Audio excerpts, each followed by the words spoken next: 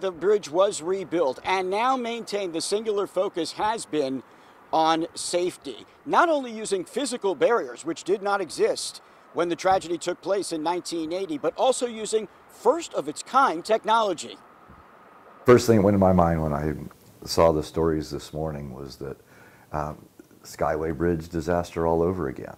When it comes to safeguarding the Skyway Bridge, Mark Luther is the guy just about everyone turns to for expertise and guidance. Yeah, most of the time, yeah, I'm at the top of the list. Luther, who works for USF Marine Science, says dozens of concrete barriers called dolphins, which protect the Skyway from collision, is just the beginning of an ongoing effort that carries on the goal of those who rebuilt the bridge four decades ago. That was one of their prime goals was to make sure that this bridge was as difficult to knock down as they could possibly make it with the technology of the day.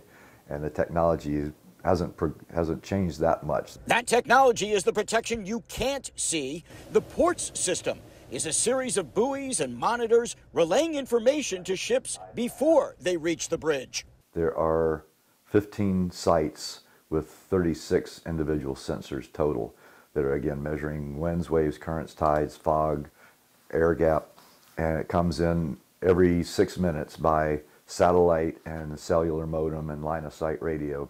Today's Skyway, says Luther, has a long list of firsts that other bridges now use as safeguards, making it one of the most protected, resilient spans in the world. It would be extremely difficult for a vessel to wander far enough out of the channel that it could knock one of any of those main supports down. Um, Don't like to say it's impossible, but it's extremely unlikely.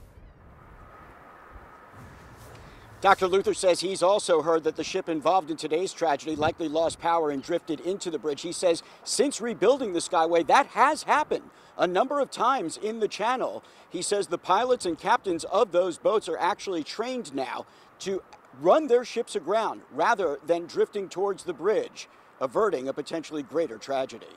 Reporting live in Pinellas County, Eric Glasser, 10 Tampa Bay. We will continue to stay on top of development out of Baltimore. We will send any new information straight to your phone through our free 10 Tampa Bay app.